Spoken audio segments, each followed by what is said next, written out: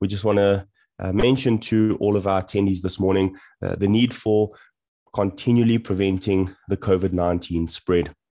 Now, over the past uh, 10 days, we've had a total case uh, number of 139,000. Uh, increasing, you know, obviously in the past few days. On the 22nd of June, we've had 11,000 new cases. On the 20th of June, we had over 13,000 new cases, uh, bringing up the total cases in South Africa to 1.8 million. So, with this third spike, we really want to encourage every single person to please continually try and prevent COVID 19 by washing your hands regularly with soap and water. Uh, keep those alcohol based hand sanitizers with you at all time. We also think of plumbers who are working with tools, uh, moving tools from one place to the next, or swapping over tools, using the same tools. Uh, please remember that cross contamination can happen very, very quickly. So avoid touching your eyes, nose, and mouth with any unwashed hands. Avoid close contact with sick people. Cover your cough or sneeze with a flexed elbow or tissue, and then please throw that tissue away. And always ensure that you are cleaning and disinfecting frequently touched objects and surfaces. Uh, frequently means as often as possible. Uh, this is not weekly. This will be during the day. Uh, every few hours, you will need to ensure that the tools, equipment, uh, the objects that you are touching, door handles, uh, etc., are cleaned and disinfected, especially if they are being touched by others. So we really are uh, wanting to focus our time and energy on health and safety, uh, particularly as an institute as well as an industry of plumbers out there. We really want to set the standard of those who take this seriously. So thank you very much. Uh, we look forward to the tech talk this morning, and we'll hand over to Steve van Zyl. Are you there, Steve? Yes, I am. And good morning, uh, Chris, and thanks for that introduction. Um, a big uh, good morning to all our listeners. Thanks for logging into, the, into today's session. Um, to my co-hosts, um, I just want to say thank you for putting this together. Uh, we really want to try and raise some awareness around plumbing in thatched roofs. You know, generally, you know, when one thinks of fire, you perceive it as scary, frightening. It's an occurrence involving hot flames, toxic smoke, um, causes major devastation, destruction to property, injury, and death sometimes to people. Um, and as I said, even uh, the loss of loss of life. And I think today the awareness around it is just we can prevent fires, what are those good practices? Um, and um, you know, a good preparation sometimes is, is, is key. And I think we'll address that through this presentation. Um, I'm going to be well, we'll be touching on things like a video, we're going to share a video on thatch, uh, thatch on fire. Um, we're going to have a look at what SANS 10 to 106 uh, talks about uh, what can and can't be done if you're allowed to install um, solar onto a thatched roof. We look at some fire and risk um, which fire extinguisher can be used.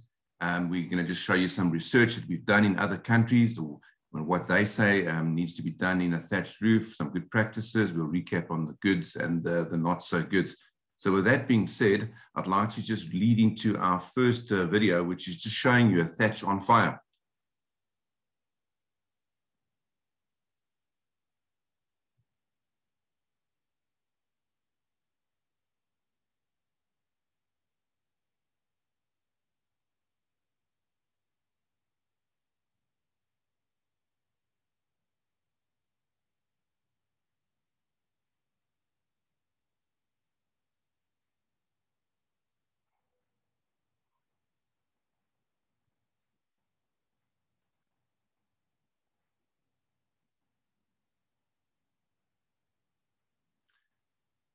The next uh, slide, basically, we, we've come across, in, fact, recently, there's been a lot of instances where there's been fires. Um, some of them, as we're aware, have started from electrical.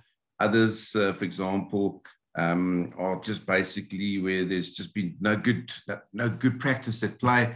Um, a torch that's fallen over, um, that's maybe caught a light. Um, the pictures are always not, don't always reflect the thatch, but the top one just shows the devastation within a roof that's also got um, normal tiles on. Um, you know, so if, even if it's got tiles, the danger of fire is always prevalent, is out there. So the plumbing standards and what they say regarding working in thatched roofs. So what we could find is that within SANS 10106, which is the, the installation, maintenance, repair and replacement of domestic solar water heating systems, under the scope, it clearly says, and if you look at 1.3, it does not cover the installation of solar water heaters on thatched roofs. We've uh, basically looked at a lot of the other standards And guys, it's been, I want to just say, it's been, there's no clear cut guidance that you may or may not work um, in a roof um, with, with, with open flames. Um, like I said, the only one we really could find was the plumbing standards uh, for uh, 10106. Um, and basically, it clearly says you can't put a thatch on a, on a thatched roof. And it does, however, say that if you are going to install a solar geyser, um, that it can be done on a separate structural platform, just basically away from that thatched uh, structure. If you can imagine uh, solar geysers and collectors, you know, absorb a lot of heat and you don't want that heat falling onto a thatched roof, then obviously you've got uh, potential for a risk happening there. We've also looked at SANS 10400T, and if anyone's interested, there is a standard for thatched roof construction, and that is SANS 10407. Chris, next slide for us, please. And I think at this point, I'm going to hand over to you to just talk, talk us through some uh, fire risk uh, safety. Thanks again, Steve. So, yes, obviously looking at your SANS standard and also applying the principle that we see at the General Safety Regulations, uh, section 4.2, the use of flammable liquids. Now, you'll notice here that it states that an employer shall uh, require or permit flammable liquids to be used or applied in any other room, cabinet, or enclosure, especially constructed for this purpose of fire resistant material. So, we are not allowed to use uh, flammable liquids. Now, obviously, anything that could create a flame, uh, create a fire, is not allowed to be used in uh, any areas or enclosed areas that are not constructed for this purpose. Or as you see there, uh, owing to its situation or construction or any other feature, is of such nature that no fire or explosion hazard can be created. Now, when the law states that no flammable liquids can be used, uh, the reasonable man legislation will also then be applied in the case of anything that is flammable in an area uh, that cannot withstand flames, such as being in a thatch roof. So, things that we do need to look out for on a fire and risk side, uh, even wooden trusses or the insulation material that is being used when you are soldering, please be careful of the drippings that uh, come off of this. Any plastic items such as conduit, pipes, or wiring, these can either be heated up. Uh, you can slip and trip over these inside thatch areas. Uh, you could even drill or maybe uh, cut into these, causing electrical shocks, also thereby creating a potential fire problem the correct handling of butane torches. Now, we've seen this uh, before. If you do not correctly handle a butane torch, if you do not hold it up correctly, uh, this thing just spits out flames. And in fact, it spits out the actual gas as well. Uh, and this can create quite a nasty flashback. And what this will do is superheat the air around you. Obviously, you know, if you are inside a thatch roof with all that dry grass, uh, there you have the huge potential of having open flames burst into flames with that uh, dry gra- dry grass rather. And then uh, taking a look at what we should have. Uh, in fact, we looked at the environmental regulations for workplaces. Now, the environmental regulations tells us that we should have uh, firefighting equipment wherever we are doing hot works. And if you want more information on that, you can go look at Regulation 2 of the Environmental Regulations for Workplaces. This affects every single company that has any hot works uh, regarded as something that could create a flame. Now, having regard to the size, construction, and location of the workplace, right there we can stop and say, have you done your preparation? Do you know the site that you are working in? what is going into your risk assessment. Then the amount and types of flammable articles used, handled, or stored on the premises. Now it comes to the legal liability of the employer. They shall provide on the premises an adequate supply of suitable firefighting equipment at strategic locations. Strategic locations means as close to where the fire may erupt. So we do not want to be inside a thatch roof and have our fire extinguishers inside our bakkies. We cannot get out of that roof to our bakkie and back into the roof in enough time uh, to be able to fight that fire.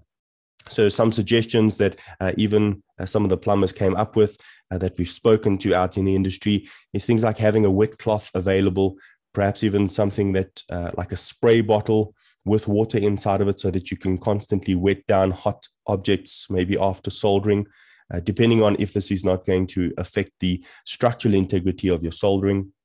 Make sure that you have these readily available. And very importantly, uh, you want to have a supply of fresh air into the environment. Uh, so either by mechanical means or just natural means, opening up airways. But we also want to be careful of this because fire thrives on air, on oxygen. And so the more oxygen you give it, the more fire comes out. So have that air available for yourself. But as soon as a fire comes out, please ensure that you close that ventilation. Try and isolate as much as possible the flames from getting out of hand. So the law is very, very specific.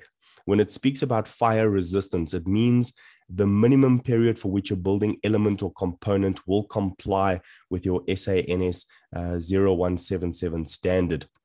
And the uh, provision of this regulation is obviously meaning that any time you have the possibility for hot works, you want to ensure that you have adequately prepared for it. Now, just as a side note, uh, something very important for us to know what type of extinguisher should you be using? Well, for one, we also need to understand how fire works. Now, fire can spread in three different ways.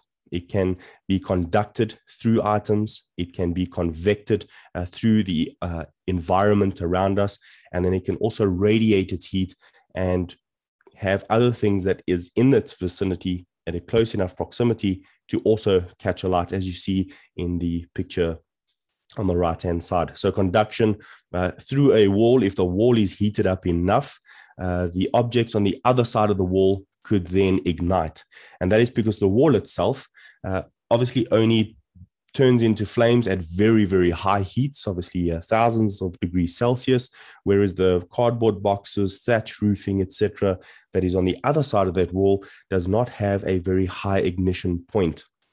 And so uh, the conduction of heat through that barrier could still be sufficient uh, for it to be able to burst into flames.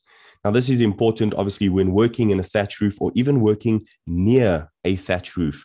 And things like connecting solar panels onto thatch roofing, uh, connecting geysers in and around thatch roofing, or even any type of uh, plumbing works that require hot works to be done that is near, next to, or even in a separate room where there is thatch on the other side. Now, again, this is calling to our mind the need for preparation and understanding the entire workplace around us. Is there a possibility for something that we do not see to be able to catch a light? Convection is another way that heat will obviously rise up.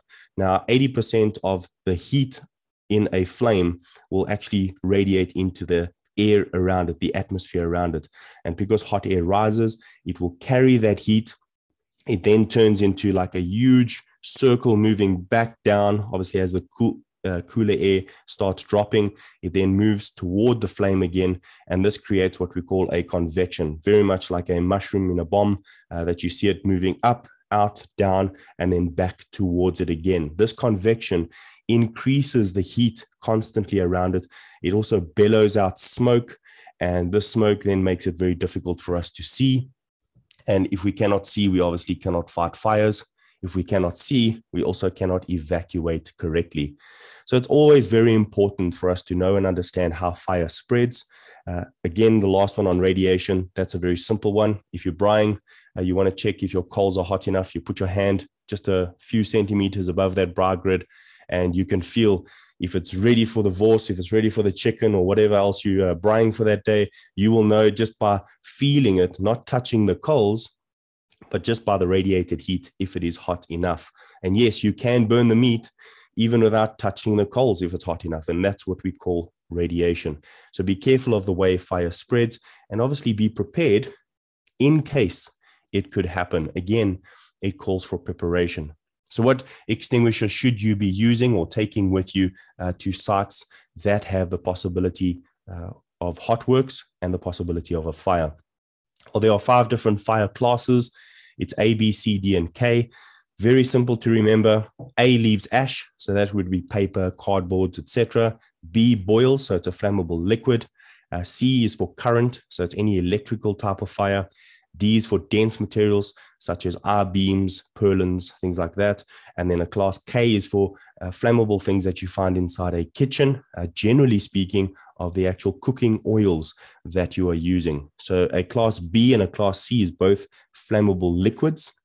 However, a cooking oil is so much more dangerous because if you use the incorrect fire extinguisher on a cooking oil, uh, it can be quite disastrous.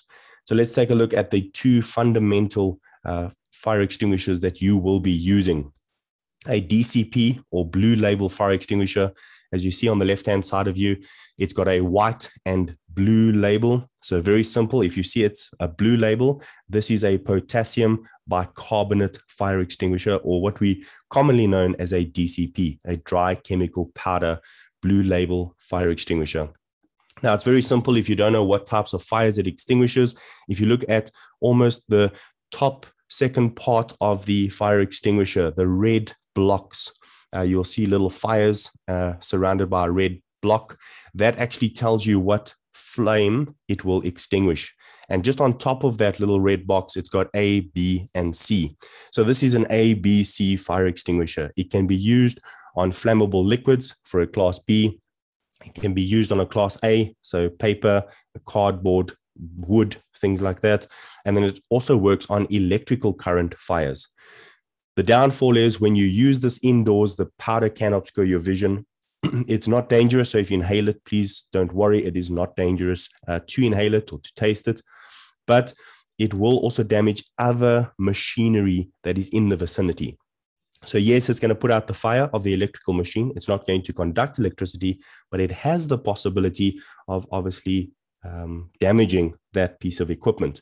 And so, what should we be using with electrical equipment? Class C uh, is definitely a CO2 fire extinguisher. This is clearly identifiable by the black label. It contains carbon dioxide. It does not have a little uh, monitor on top of it to tell you what the temperature is or the gauge of the pressure is on this um, extinguisher. It literally only has CO2 inside of it because it self ignites, basically uses its own uh, pressurization to expel this type of CO2. And it is a B and C fire extinguisher, so it can be used on boiling liquids as well as a Class C electrical current fire. So those are the two fire extinguishers we should be looking at. Uh, this is the anatomy of a fire extinguisher, a carbon dioxide fire extinguisher, obviously on the left-hand side over there. You're looking at the safety pin, then the pressure uh, relief device that is controlled on the inside of the actual fire extinguisher.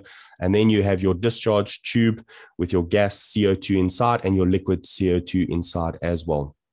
And as you obviously depress this, the CO2 will come out and little bits of ice will come out with it.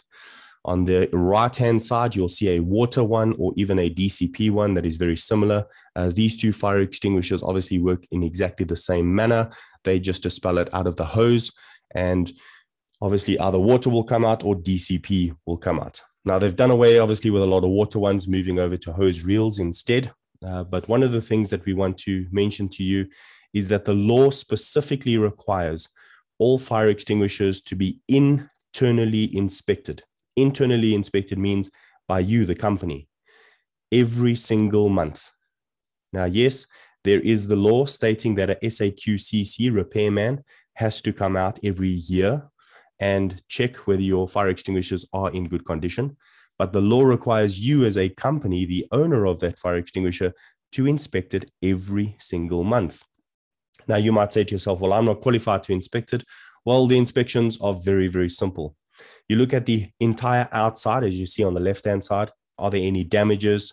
Uh, is there any uh, powder coming out of this? You do a tap test. In other words, you hold the hose and you tap it at the bottom and you see if any dry chemical powder comes out.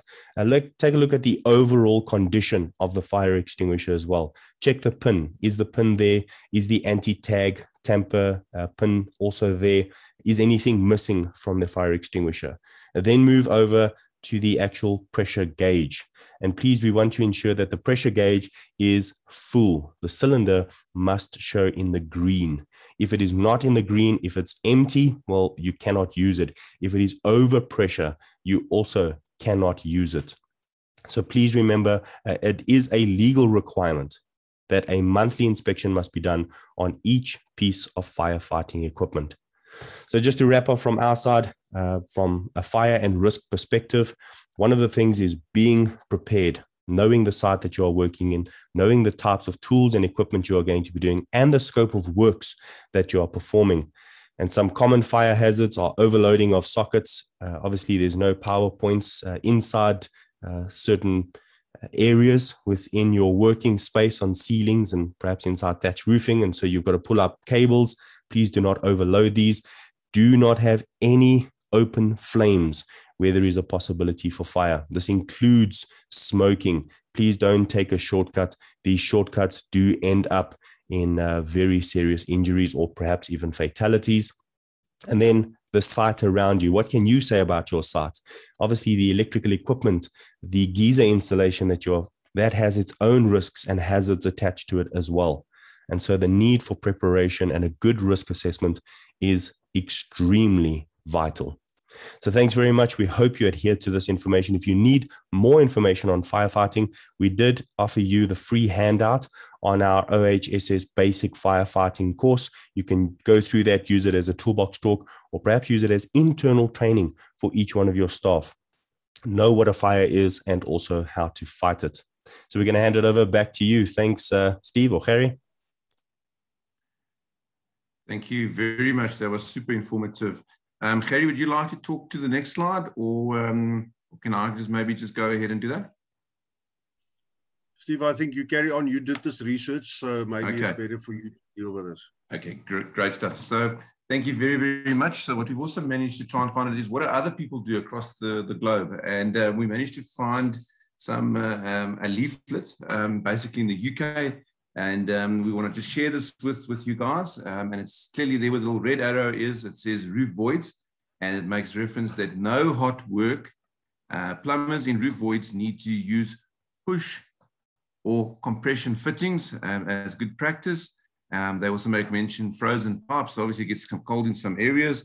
Should only be thawed by hot uh, cloths and um, not with a blowtorch, hot air stripper, or hair dryer. Um, do not allow smoking uh, or the use of a candle or a lighter or match um, as emergency lights or to check what you're doing in the roof void. Remember that the interior of an unlined thatch roof is dry, dusty, and flammable. Lofts should be kept free of storage items and allow ease of access in case of fire access hatches should not be less than, obviously they make some reference to the size of that hatch, obviously taking into account that, you know, if something does happen, that the plumber or the person in that roof void needs to get out as quickly as possible without being restricted. So guys, it's not, uh, it happens all, all across the world. As I said, um, there's uh, specifically speaking that it's a very good practice to use rather push on and compression fittings. Harry, would you take the next slide for us just uh, by summing everything up for us? Sure, thanks, Steve. Um, so let's have a look and, and let's see good practices here. Uh, compression fittings, obviously, number one. Fire extinguisher, as um, uh, Chris has alluded, is that uh, I think it's very, very, very important that with uh, working with open flames and torches, I think it's an essential piece of equipment that you need to have with you. Um, contact details of your fire brigade um, in that area that you're operating. And then firefighting for your staff, obviously very important. And I know that there are opportunities, Chris, for some of the guys to do uh, firefighting training with yourselves and or associates with your uh, uh, that you are connected with. Um, one of the, I think the important thing is, is to try and reduce the risk. And how do we do this? Um, I think one of the one of the big important things here is people need to understand how to handle this butane torch that they are working with. You know, if you open the gas and then you're looking for a light or a match to to to actually light up the the flame, that in itself already creates a problem. So have your your your open flame or your light or whatever ready, and then open the gas, um, so that you don't or reduce the risk of of uh, basically a small gas explosion that can create other problems. Then um, obviously preparation. Have a plan, have whatever you need ready. Um, and, and one of the suggestions was maybe a little spray bottle of water. Uh, we all know that uh, in a lot of instances nowadays, you get this uh, paper material that they uh, use as insulation. So, and those things, in my opinion, I don't know whether it's the right thing to do, but in any case, it's there. So you've got to be prepared. You have to look at your environment before you enter the roof, before you go in there with your flames and your whatever equipment to make sure that you are ready for anything that might happen. Then um, using the torch, uh, I think uh, if we look at the not good uh, side, smoking obviously in the roof space is nonsensical. You are creating a problem for yourself.